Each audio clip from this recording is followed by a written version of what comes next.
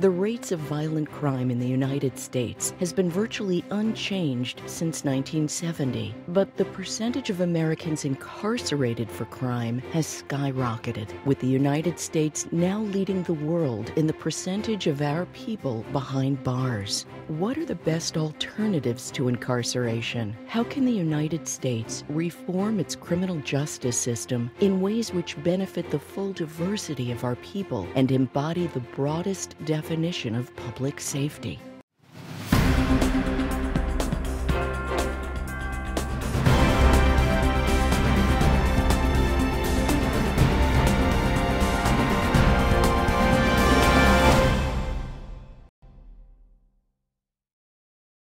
This episode of The Whole Truth was made possible by Ametek, CNX, UGI AmeriGas, SEI, Buchanan Ingersoll Rooney, and by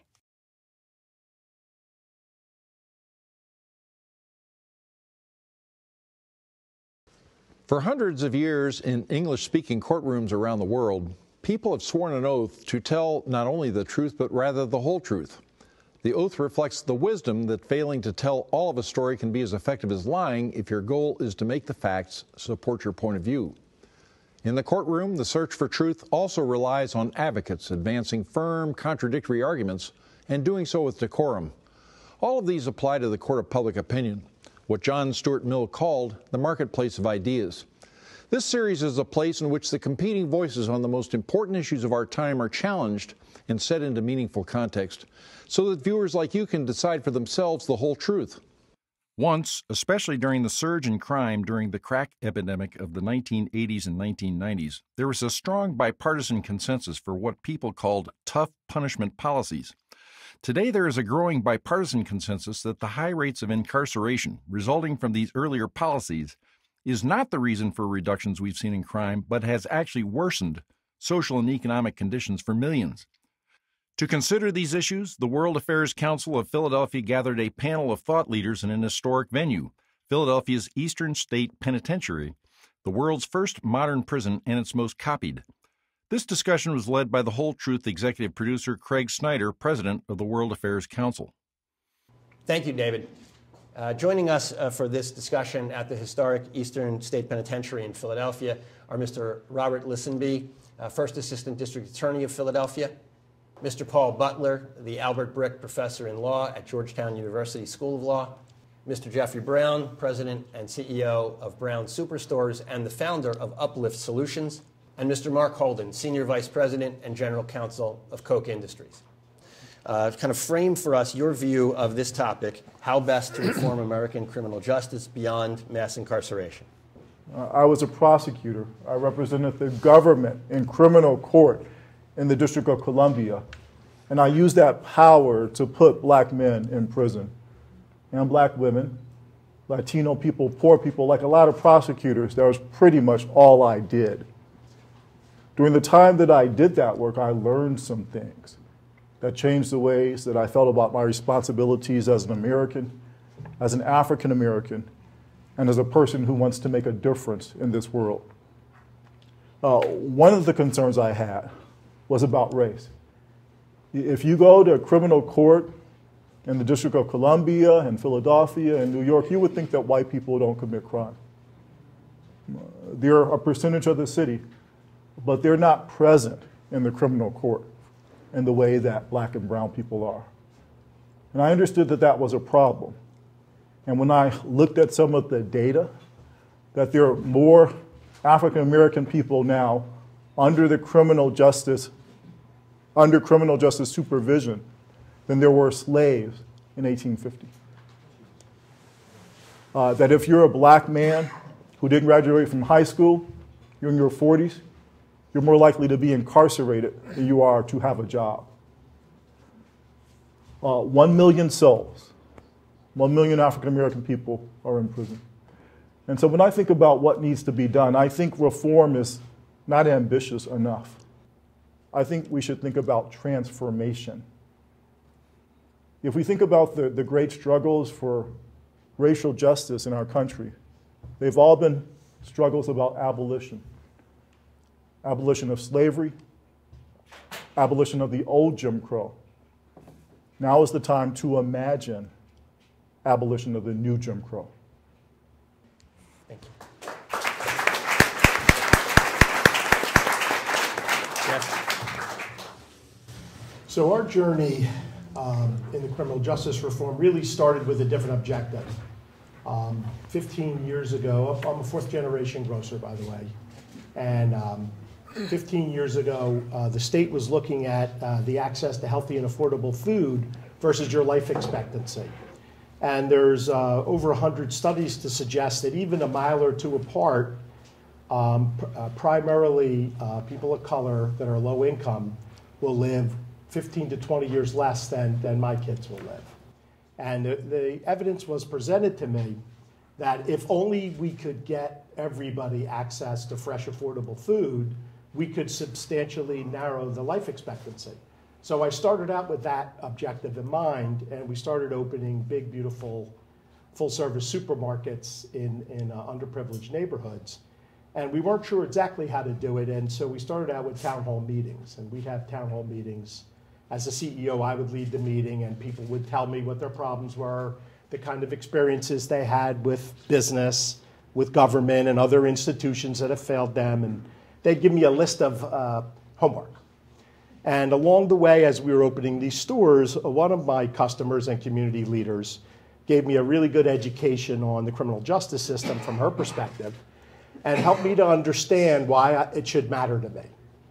Um, not that it didn't matter to me before, but I don't think I was informed as much as I should, considering the work that I did. And what she said was that, God bless you, you're opening stores, no one else will. We really appreciate that. But you know, we're never going to be the greatest customers because so many of us have been incarcerated.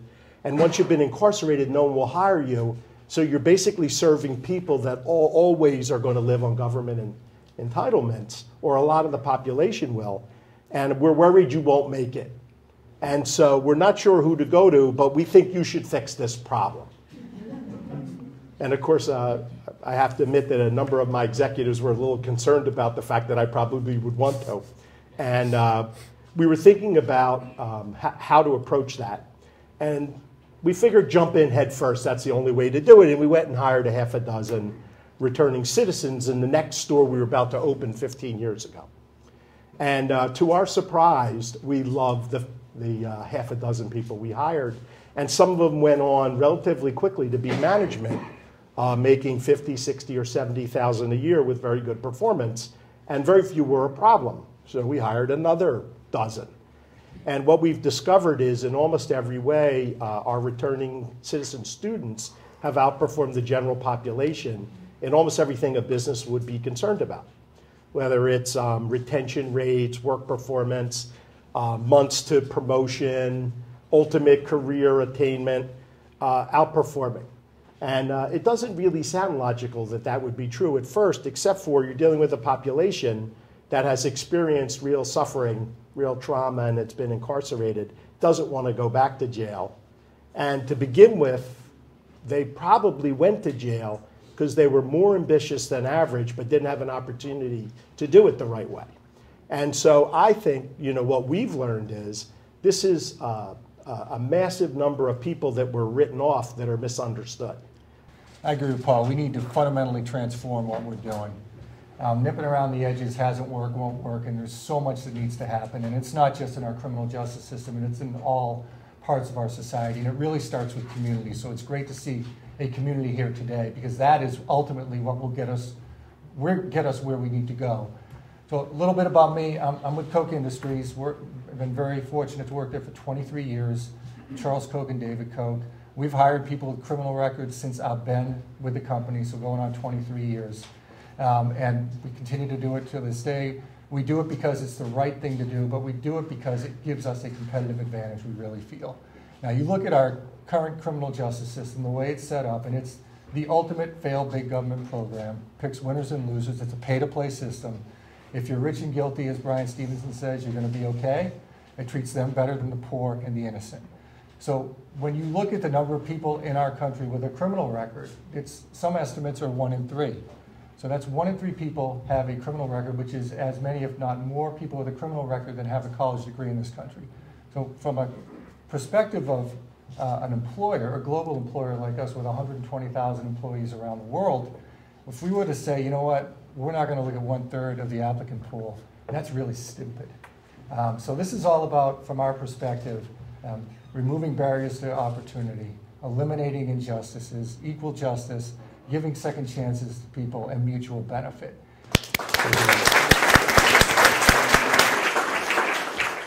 Okay.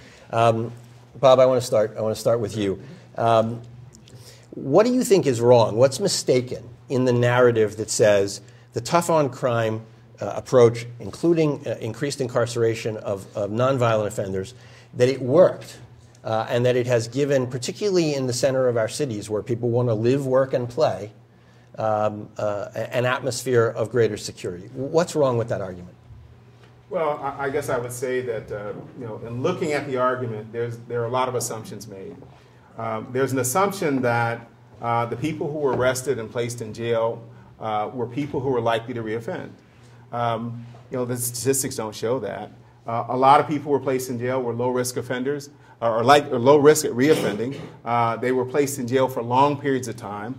Studies show that if you place people in jail for longer periods of time than quote unquote necessary, you're a little more likely to cause them to enter a life of crime and stay in a life of crime than you are if you put them in for shorter periods of time. We know that if they're there for shorter periods of time, they're more likely to stay in contact with their families, their communities, more likely to stay in contact with opportunities for education, jobs, and that kind of thing. Putting away for long periods of time put them in a culture of crime, and, and often it just doesn't, doesn't turn out to be the best kind of thing. We know also that there's been poor uh, um, uh, um, examples involving young people. We put large numbers of young people in jail. The arrests were twice as high uh, back in the 90s as they are now. Uh, the crime wave among young people ended back in 1994, and crime has been going down since 94, but the rest kept going up for another 10 years. So we've kind of missed the curve. We're not using a scientific basis for deciding which people to put away, deciding how long to put them away, deciding what we're going to do when they come back, and making sure that they have the kind of resources to reenter the community and be successful.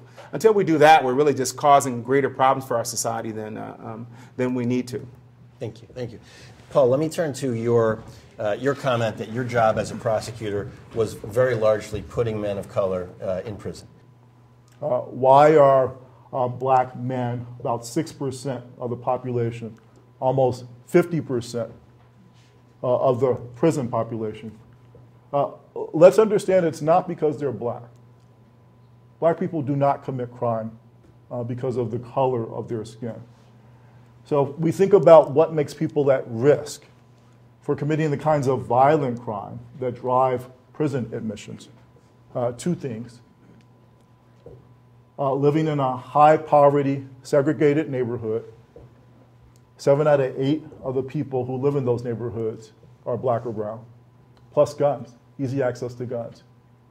You add those two things, that's a recipe for people being at risk for being victims of crime and for being perpetrators of crime. So we could think about the, the failed war on drugs. There you have an obvious case for selective prosecution. That's discrimination, right? So I'm a university professor. Uh, it doesn't surprise me to know that black folks don't use drugs more than anybody else.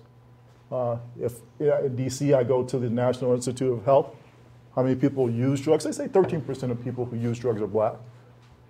About 13% of our population is also African American. What about sellers? Well, most people who buy drugs, it's kind of a segregated transaction. Most people who buy drugs say they buy them from someone at their own risk. If you go, again in DC, if I go from the National Institute of Health, jump on the red line, go to the Justice Department, who's locked up for drug crimes?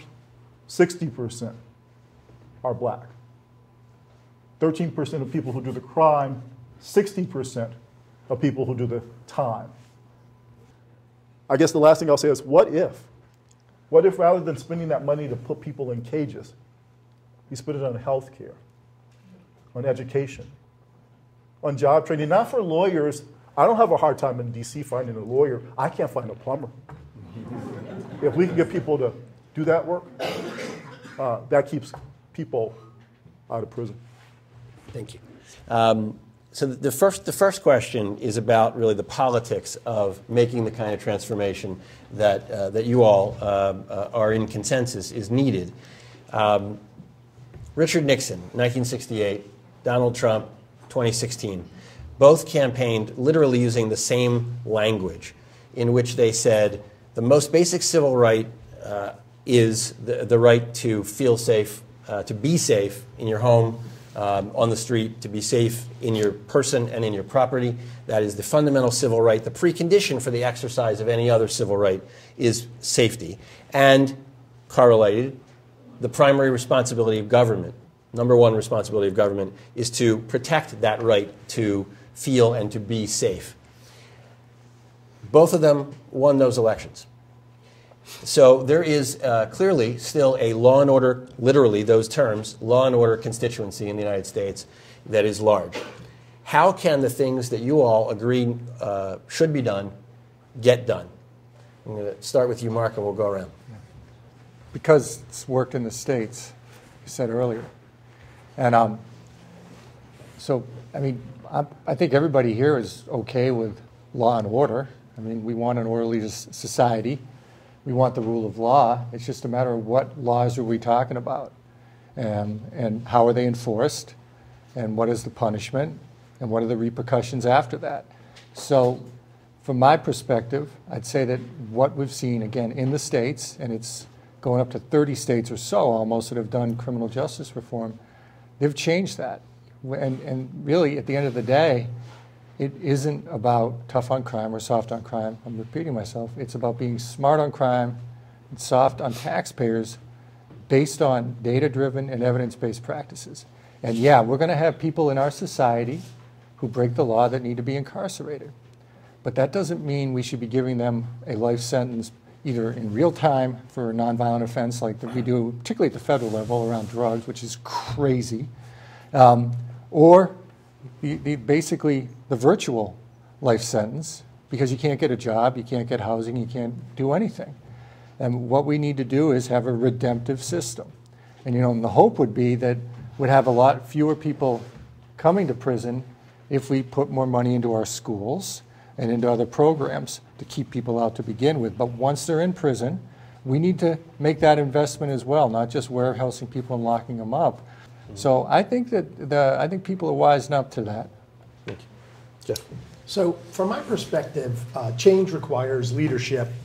And what you noticed in our party system, if you fall under a certain party, you tend to believe in all the exact same things, which seems like almost inhuman that you would believe in exactly the same things. And so I think it does take leadership, and I don't think that leadership comes from elected officials. I think it comes from people on this panel and other leaders in society who push them, who push back at them. So that's the first thing. The second thing um, that Mark talked about is data. And most things we do successfully have some scientific element, have a data element.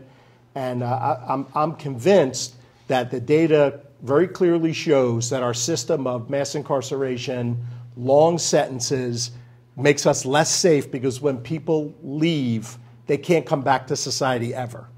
So they can never get their record cleared. No one will hire them. It's almost a recipe for almost 100% chance of reincarceration. So the current system we have now uh, is really making us less safe. And I think it takes leadership to explain to people that you won't be safe until people that have no opportunity have an opportunity. And if they have an opportunity and they could prosper, they're going to be like everyone else and they're not going to do things that are going to hurt you. And right now, the system we have is maximizing people that, that are hopeless and that have a high probability of committing a crime because we've left them no other choice. So, in the introduction, what we heard was true. This is kind of like what prisons look like. The only thing is you can't you can't hear. You can't hear what they sound like. 80% of people who are locked up are either mentally ill or addicts. You could say that prisons are the largest provider of, of mental health services, except they don't actually provide those services, most of them. So imagine those sounds. You can't smell it. When I was a prosecutor and I used to go to a prison to interview a, a witness, first thing I would do when I left was go home and take a shower. prisons stink. Prisons are, um, are miserable places. So abolition does not mean opening the door to every prison tomorrow and letting everybody go home. Think about it as a process of gradual decarceration uh, with the eye of always keeping us safe, but locking up as few people as possible. It's not a new idea, it's been around since prison's been created. Charles Dickens was an abolitionist after he visited places like this. So, what is it that we hope prison does? Uh, we hope that it keeps us safe from people who would hurt us if they weren't locked up. And when people have caused harm, when they've done bad, we hope it makes them accountable for what they've done. Those of us who've worked in the system know that prison doesn't do either of those very well. And so then the question is how can we use our American ingenuity to think of ways to do it better?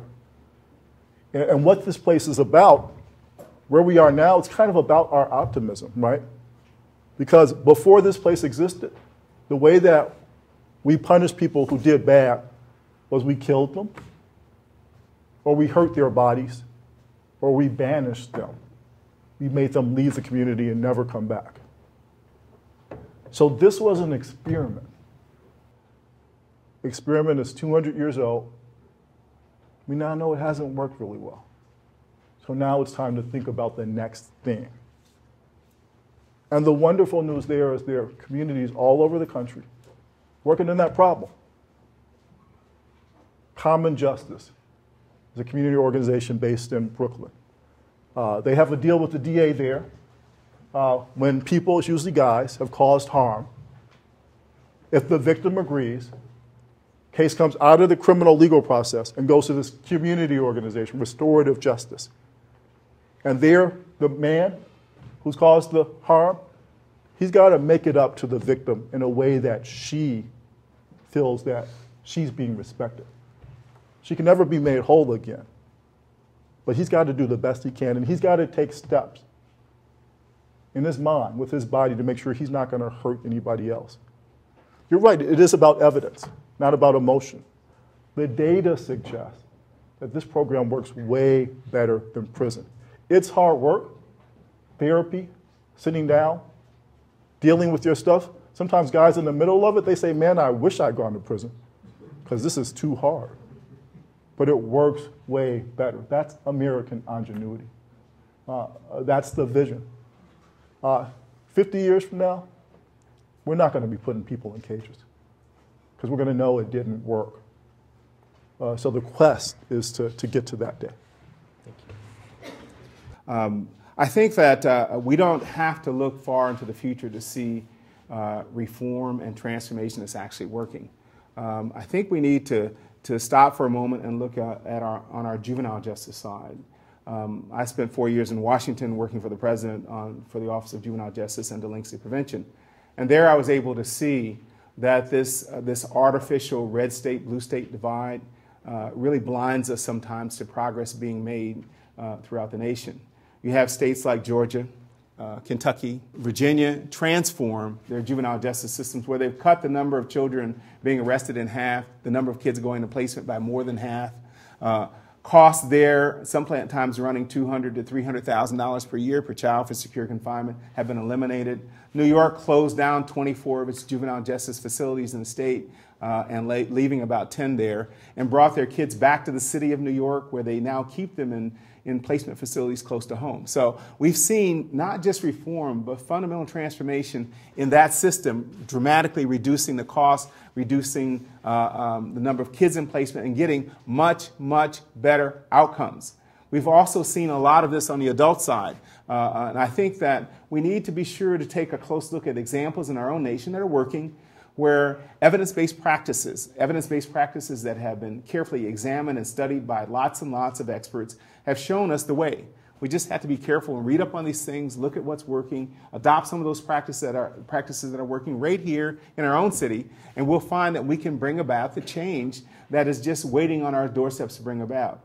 So I don't think it's far off. I don't think it's the next generation. I don't think that I have to wait to, to, for my sons and daughters to see this. I want to see it right now. The reason I'm involved right now is because I want to see it during my lifetime uh, come to fruition. So those are some thoughts. We have a sense of urgency, a sense of, of, of really feeling like every day is a day that we need to invest every ounce of energy we can into this process, and that's what we're doing. So. Gentlemen, I want to thank all of you for being with us on The Whole Truth. Uh,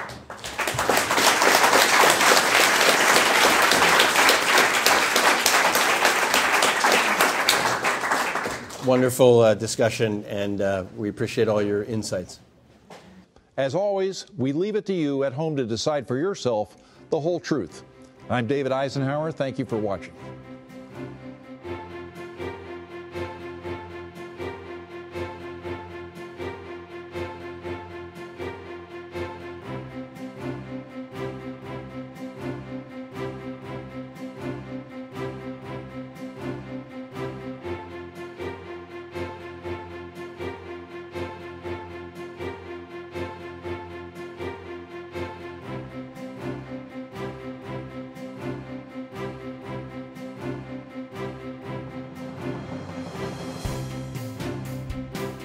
This episode of The Whole Truth was made possible by Ametek, CNX, UGI Amerigas, SEI, Buchanan Ingersoll Rooney, and by